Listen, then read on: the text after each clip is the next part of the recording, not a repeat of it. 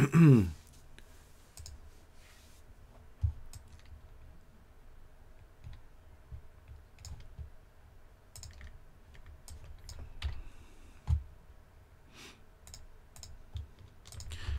we're going to look at a much higher rated um, opponent now, a 2548, and again um, in the Nimzo Indian. So Lenderman, Alex Lenderman, who I guess with that rating must be a Grandmaster. I believe Lenderman is a Grandmaster. Uh, so with the white pieces. So D4. So Adams again plays knight F6. So C4, E6, but now white is willing to give black a bit more fun in this game um, in the opening by playing knight c3. So the full concept of the Nimzo Indian, the double pawn strategy, the idea of um, putting pressure on e4, maybe blockading these pawns, that might be more relevant to this game. So bishop b4.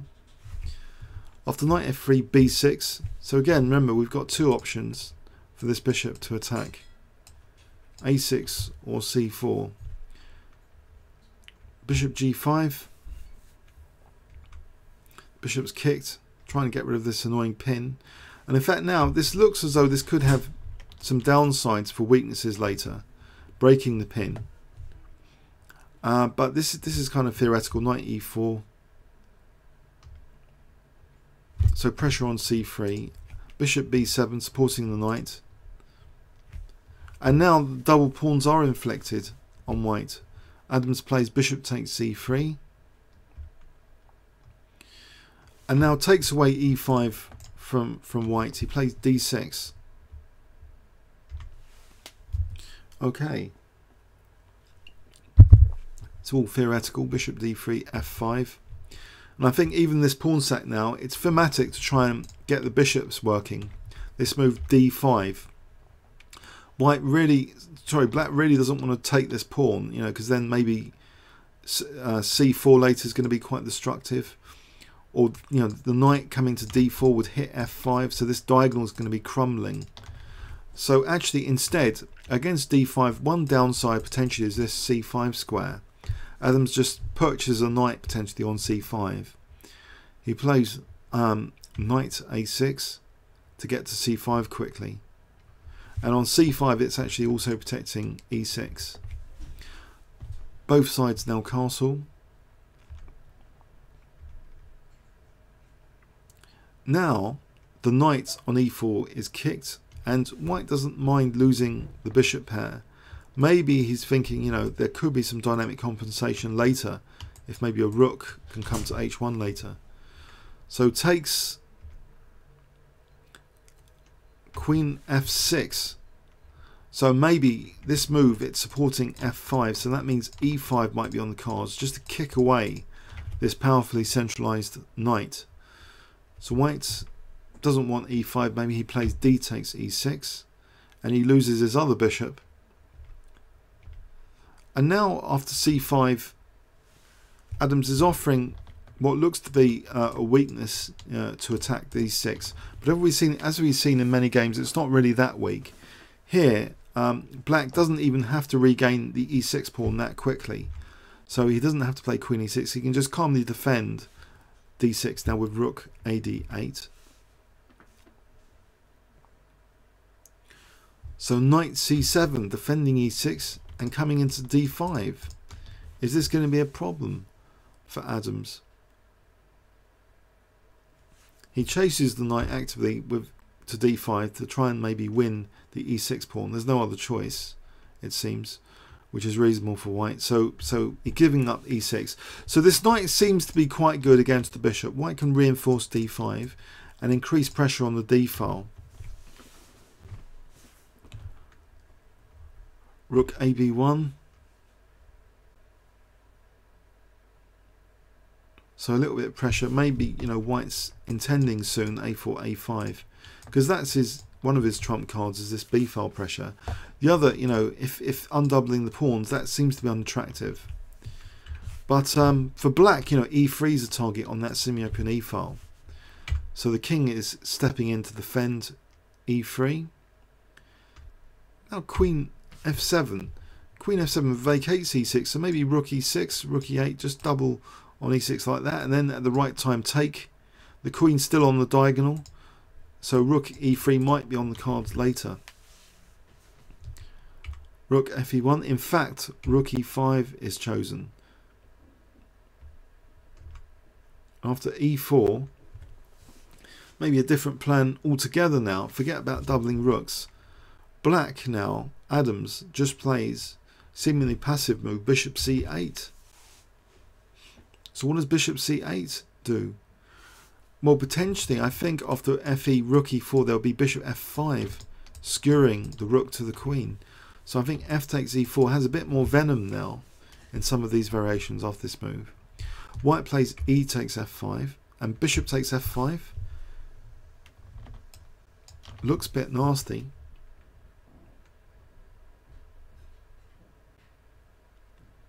In fact, why did white play this? You might be asking. so queen f1. White's offered the exchange. For what? The exchange down now, but this knight's pretty pretty useful. It's pretty big knight on d5. The king seems to be solid for the moment. So how can this rook fight this knight? So very interesting position here now at move 29. So Adams first actually offers the exchange of queens to simplify it further.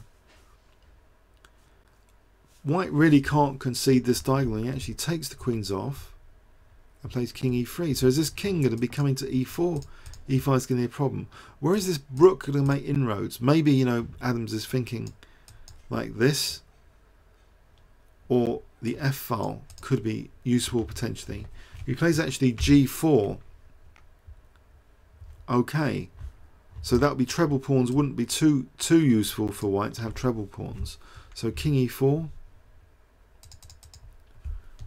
king g6. Now if takes here then takes and then rook takes f3. So the king's tied down to defend f3.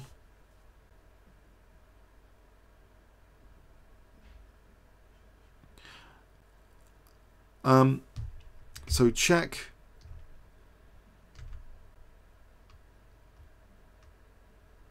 Now rook g8. So with the threat of maybe taking a rook takes g3.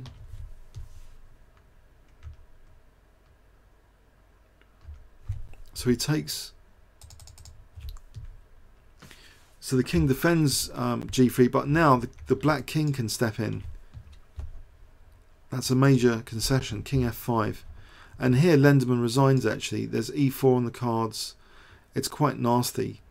Now, it looks like it's pretty nasty because if, if the king's forced back, well, the rook can also come to, to win a2 if needed as well. So this looks like a, a lost position now. Um, so that was an interesting Nimzo Indian game as well. Well, true Nimzo Indian, none of this um, Queen's Indian business. So let's have a look at this game. So this was from the World Open in round three maybe it's not as aesthetically pleasing as the other game, but sort of interesting. If you're going to play the Nimzo Indians, check these games out. So bishop b7, and double pawns are inflicted on white. White tries to create dynamism with d5, but it seems black has adequate resources with a knight coming to c5 here, just in time. Uh, you know, threatening the bishop as well as defending um, e6. Okay, so white gives up both bishops basically now with this next sequence. First the dark square bishop, and now we see the light square bishop going. So we're getting a simplified scenario of this bishop versus that knight. And it gets kind of intriguing after white's exchange sack coming up very shortly. So rook ab1, rook d8, both both sides were targeting their semi-open fold target pawns, you know, b6 and e3 here. So b6 for white and e3 for black. So queen f7. So keeps the options open, like rook e5 in particular, actually looks quite kind of strong as well. for all three to gang up on d5 if needed. So that seems better than rook e6 actually now in retrospect. So threatening to win a pawn in fact. So what what could white have done here? The knight's stuck. Can't go back. Can't go back here. Whoops. So e4 was was kind of um, a necessary concession. With e4 of course, e you know f takes e4 is is more dangerous, especially if there's a bishop here to come to f5. So this looks as though white's crumbling actually because the king is not ideally placed to be on f2 here. So what could white have done here? It's it's a big problem now because of this f takes and bishop f5. So he comes up with this exchange sacrifice idea. May, maybe um, this smacks of desperation to sack the exchange. But for a while it did look intuitively, that knight on d5 did look kind of strong. But it's clearly not enough it seems. Uh, because Adams is quite resourceful in the f file now with this g4. So he keeps tying down that, that king, otherwise the knight would really you know, be a monster if more pawns are collected. So knight c6. And now it's, it's just simply a case of being the exchange down. So here white resigned. Uh, so some subtle little positional manoeuvring there, causing you know tactical exposure. I think that bishop c8 in particular basically causing white to sack the exchange. And then some further you know clever dynamic moves from black. Make sure that the exchange up is relevant for Adams. Okay. Uh, let's go on and check another game. I hope you guys got something uh, from that second game. Okay. So I'll be back in a minute with one another game. Okay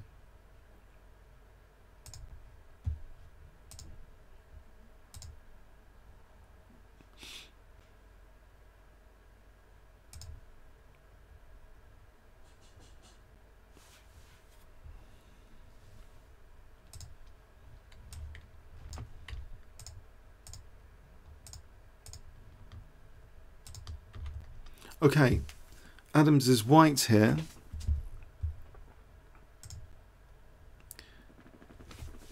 Okay, and he's up against Mikhail Kekel Kekelizes. I don't know how to pronounce that. 2463. So e4, let's flip the board. Okay, c5, Sicilian defense. Knight f3, mainline Sicilian well with d4 so with a6 now Adams chooses uh, bishop d3 here actually. Quite interesting. So with this there's a kind of signal that maybe you know casting king side is on the cards not queen side. Queen b6 now instead of retreating the knight back actually Adams chooses c3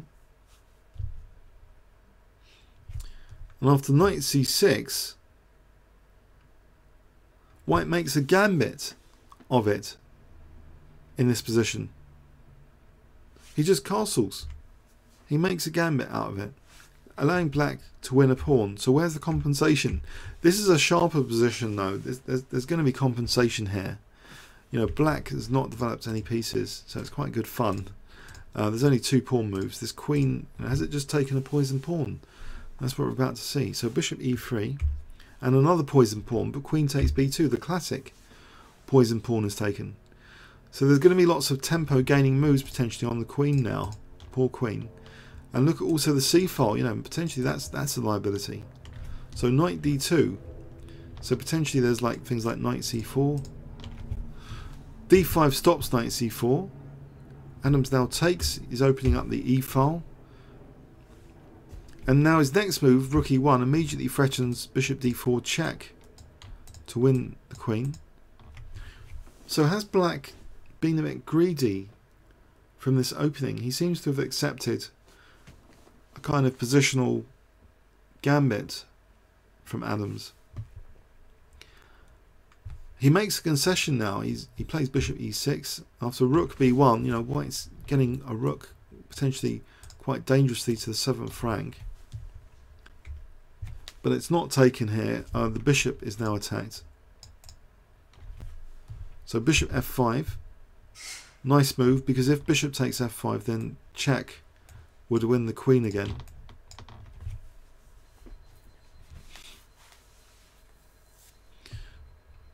Knight f6, a pawn is regained with rook takes b7, finally. Now black's scrambling to castle, and he can do this because the queen's actually supporting e7. So has he managed to get away with things? Adams takes a bishop d4, shows there's some dark square pressure to contend with, also pressure on e6. Black's willing to give up e6 though, just the castle. Okay, gives up e6. Queen d3. Is white actually a little bit vulnerable here? There seems to be a trade of bishops invited now. But the rooks on the 7th look pretty dangerous. So black is allowing rook takes g7. Is he going to try and hijack this g file with rook g8 soon? Is that the intention? Queen b1. Okay. So what is going on here? If queen takes d2, black gets mated, rook takes, because the queen is supporting the rooks now for rook takes h7. So that's defended with queen h4. But now knight f3 hitting the queen. And now another nice move, putting more pressure on h7, knight g5. I think here is crunch time already. It seems black's um, gone downhill since the opening. It was on the receiving end of a lot of pressure. And in this position, he's also pawn down. So this is pretty nasty stuff. Um, but has he got salvation? He sacrifices the queen for two rooks. Or is it? No, knight e6 check. It's rook and knight versus queen scenario. But white has got an extra pawn as well. Maybe two extra pawns coming up. Two extra pawns. Check. Okay, I think white's materially better. And he's got the outside past a pawn now. Queen b2. So immediately threatening um, Queen b4 check. Prepares knight c5, but it just protects the rook anyway. Black really can't set up a fortress here. I think the rest is, is very difficult for black to defend. White makes some air for his king. Check. And now the passed pawn is ready to be pushed. Check. F3. Okay, another passed pawn on the horizon with G4. Two passed pawns, potentially. Check. Check. Check. Three passed pawns if this pawn can be removed which it is. Obviously black's in a hopeless position, but can he do something with this d pawn? Not really that likely with queen g6 blockading the advance and, and preparing this pawn. So here black actually resigned. So that seemed to be a nice intuitive gambit from white, just maybe just an early, what can we say, an early positional sacrifice in a very sharp position where black hadn't developed many pieces. So let's have a look at that again. So Sicilian defence with an unusual looking bishop d3 and white you know playing not knight b3 but c3 I think is quite interesting that this gambit was already in mind to play c3 not minding, you know, knight c6 and just sacrifice a pawn. I think it's very, very interesting. I don't know what you guys think of c3 because ordinarily you wouldn't think of c3 because you know you're blocking. You know, maybe the knight wanted to go to c3, but to have this gambit in mind is is very interesting. I think. So knight c6, just offering a gambit pawn. But white's getting loads of pressure really. Intuitively we can see white's getting loads of pressure. But it's nice to see this stuff being played on the longer time limits. So two pawns given. Big initiative for black. Uh, sorry, for white. With black having to defend like mad now. So knight d2, you know, immediate threats like knight c4, maybe coming to b6, then rook c1. That pawns c8 bishop could be a victim very, very soon. So black felt the need to take away c4. White took, he's opening up the e file, kind of menacing threats now. Knight bishop d4. So bishop e6.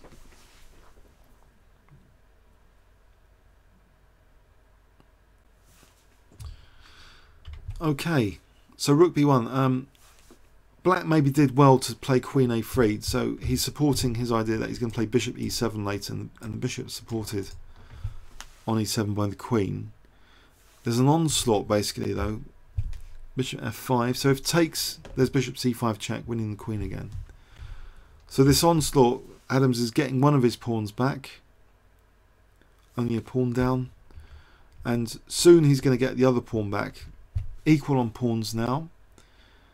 Um, so one question here, I think if the bishop had, moved off f6, uh, then bishop um, takes f6 and then queen g4 is devastation on g7. If you know if, if black has to take with with, with g pawn, then queen g4 will be mating. So um, we have here a horrible scenario though, with a huge pressure on h7. So immediate threat of mating again with rook takes h7.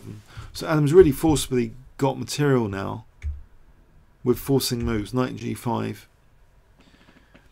And it's rook and knight versus queen uh, coming up. So a very forceful, sharp game here in contrast to the games with Adams as black in the Nimzo Indian or Queen's Indian this this uh, really uh, is very difficult for black and he's materially down anyway. Okay. I think there's time for one more game. Um, I hope you enjoyed that one and got something from it. Um, so maybe one of the points c3 you know you might never have thought about c3 gambit your c pawn in fact and then your b pawn okay so we'll take um, one more game.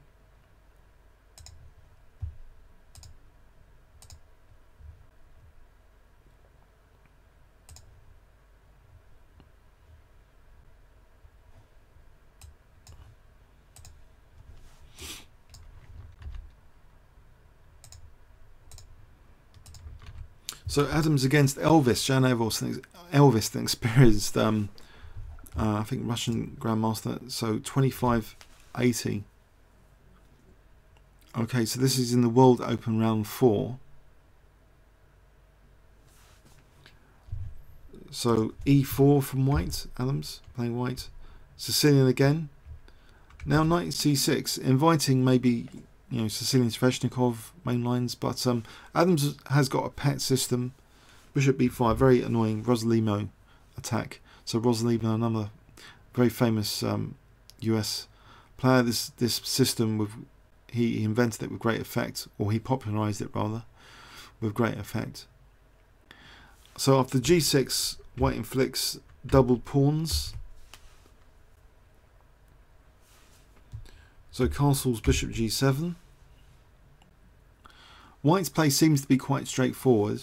Uh, rook e1 just as he's like playing the Ruy Lopez or something you know, this central control, maybe c3, d4 is going to come up, as though Ruy Lopez is being played.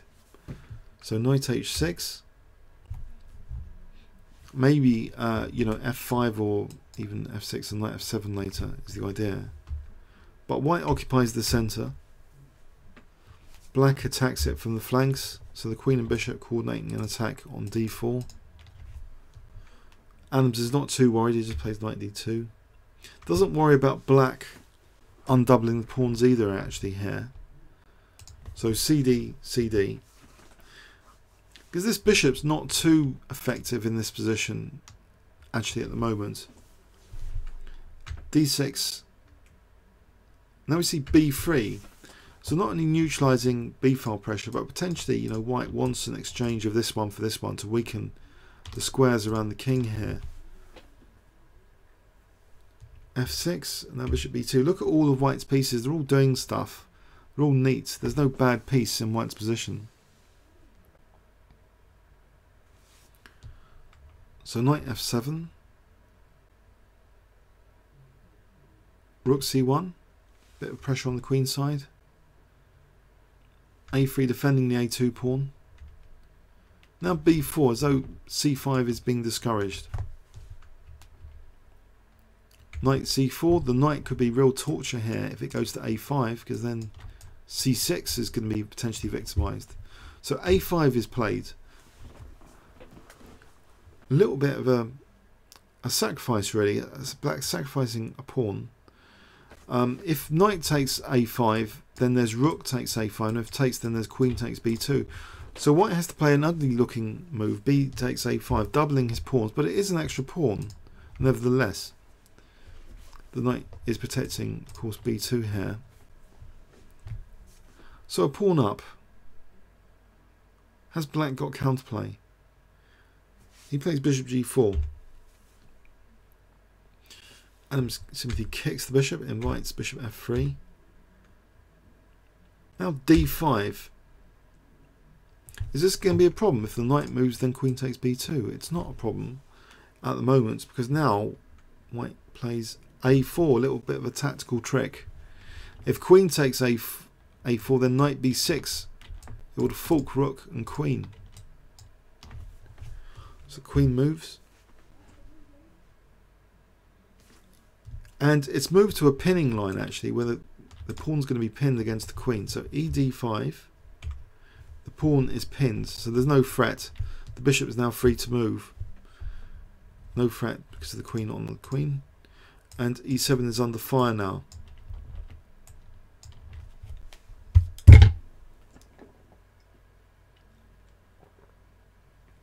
So white's achieved a very comfortable position out of the opening from this Rossolimo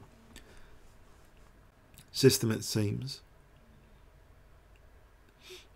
Knight g5 though, is this breaking the pin? Is black ready to, for d takes c4? Okay, now Adams actually calmly plays queen e2 here. It's a bit of a shock, at least to me, because I was wondering here, why, why couldn't black just take the knight here? Um, what do you guys think of this? I think the problem with taking the knight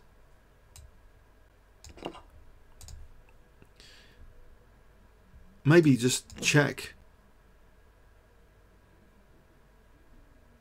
is that the problem if if the king moves there's rook takes e7 but here what what if e6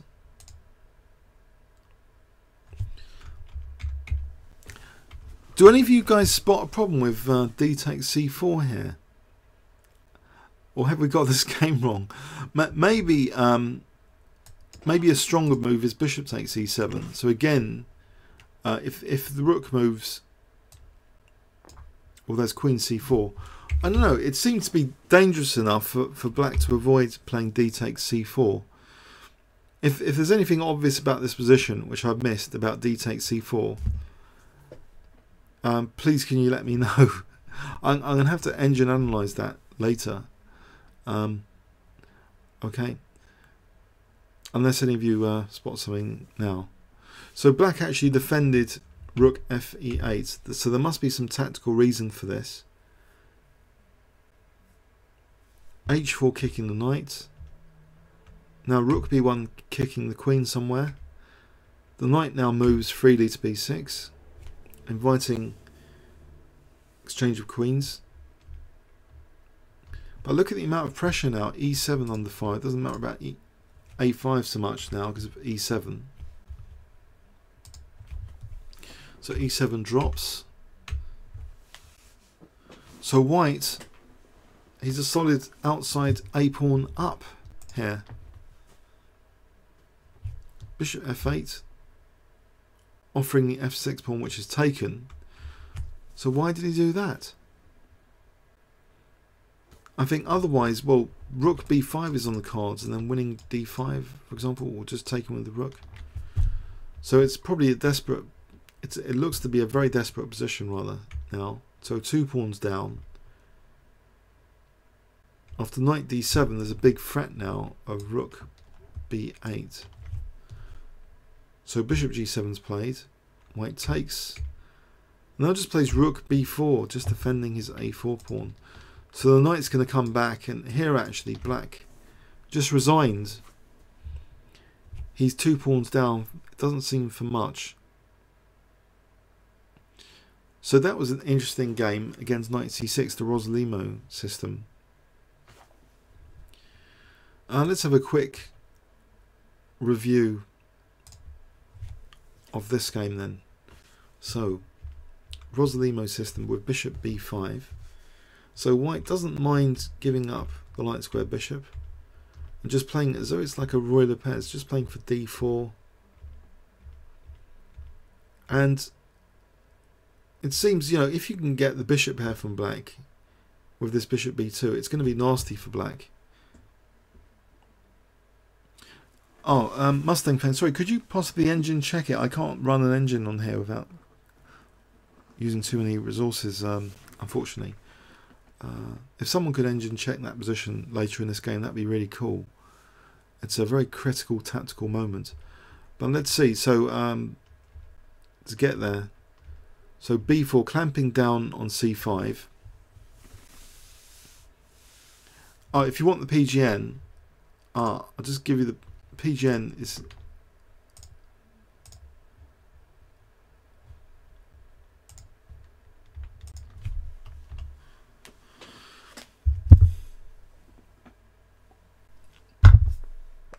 Okay, so queen b5.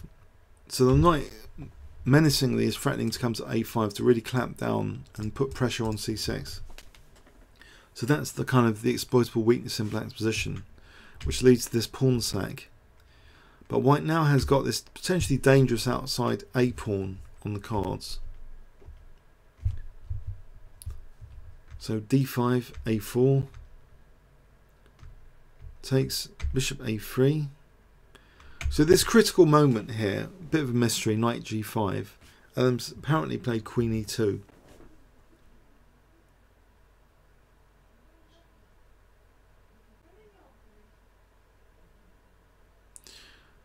So if any of you know what the refutation is of taking the knight, please let me know.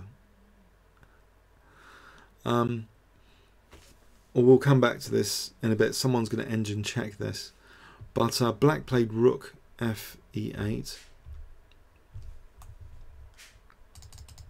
So we have the knight being kicked. White really ends up just two pawns up. He's going to end up two clear pawns up very soon. Because knight and bishop and rook are really coordinating to get to the black king actually. Quite menacingly in this position. So that's, that's desperate second pawn sack from black. And here he just threw in the towel after rook b4. Okay, um, well, I hope you enjoyed this week. There's a few Adams games we went over. Um, I'll be here for a minute or two, when, if we can get some analysis on that, I'll show it in the next two or three minutes. Otherwise, um, hope you enjoy the rest of the week, and um, see you at the usual time next Tuesday.